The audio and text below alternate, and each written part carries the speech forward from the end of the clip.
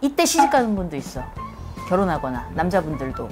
근데 이때 결혼하면 일곱, 일곱 넘어가잖아요. 일곱 그리고 다음 해까지 해서 만나는 인연 중에는 아닌 인연이 되게 많아요. 그런 경우에는 꼭 궁합을 보시고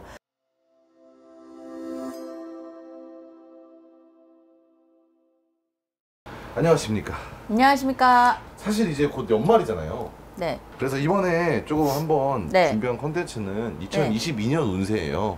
2022년 근데 GT 분들부터 한번 LGD 26에서 27을 되시는 분들부터 26에서 27이 되시는 분들은 변화가 되게 많을 거예요. 내년 넘어가면서 네. 뭘 시작한다든가 네. 아니면 이때 시집 가는 분도 있어. 결혼하거나 남자분들도. 네. 근데 이때 결혼하면 네. 일곱, 일곱 넘어가잖아요. 일곱 그리고 다음 해까지 해서 만나는 인연 중에는 아닌 인연이 되게 많아요. 그러니까 시집 두 번 간다, 장가 두 번 간다 소리 나올 수가 있으니까 그런 경우에는 꼭 궁합을 보시고 그리고 이제 지금 음력으로 7월 말이거든요. 근데 9월, 10월 넘어가면서 갑자기 괜히 막 기운이 처지거나 아니면 완전히 불안하거나 이런 분들은 점을 한번 꼭 보세요.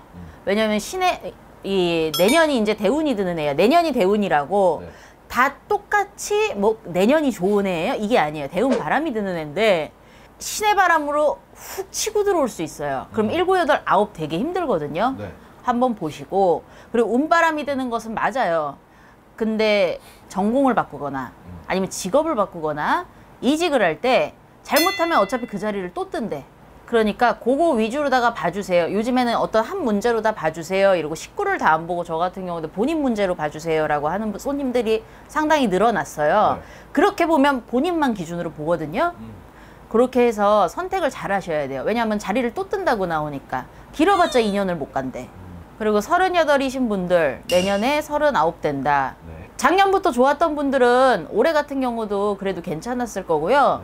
요 나이에 혼사 날짜 잡은 분들도 상당히 많을 거예요. 음. 근데 이제 동지 전에 결, 동지 전에 결혼하시는 게 좋고 그 뒤에라도 근데 내년 아홉 수로다가 원래 아홉 수 결혼 웬만하면 안 하거든요. 그리고 이 쥐띠가 제가 알기로는 삼재 드는 걸로 알고 있는데 맞습니다. 그렇죠? 네. 삼재 들면서 아홉 수라서 조심하셔야 돼요. 그래서 만약에 혼사 같은 경우 내년에 어쩔 수 없이 하게 된다라고 네. 하면 정말로 나를 다 보고 하세요. 그리고 이 서른아홉 되시는 분들 중에서는 사고가 나서 그렇든 내가 내 몸에 손을 대든 네. 수술 조심하셔야 돼요. 수술. 잘못하면 몸 모양새가 망가진다고 나오거든요. 음.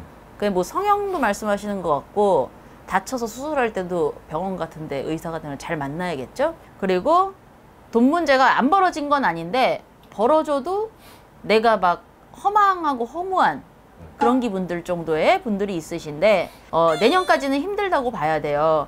그리고 너무 힘들게 뛰는 모습 뭐야 너무 힘들게 뛰어 뛰고 있다 자꾸 바뀌고 그러신 분들은 점을 보시고 일을 조금 하셨으면 좋겠어요 꼭 굿이 아니더라도 50세이신 분들 쉬운 하나가 되세요 어, 쉬운 하나가 되시는데 어, 오히려 올해는 그냥 그냥 저냥 저냥 음. 근데 약간 그냥 좀 막막해.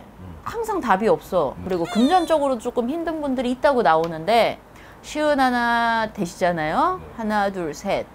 이렇게 넘어가면서 조금 풀고 넘어가시고 그리고 직장 자리를 불편한데도 버티고 있는 분들이 있대요. 네. 이동은 해야 되는데 이렇게 점상 보면은 이렇게 뭐 어떤 이유로 다 문이 막혀 있는 경우 있거든요. 음. 그럴 땐 조심해야 되고 그리고 관제 수 있는 분들이 있어요.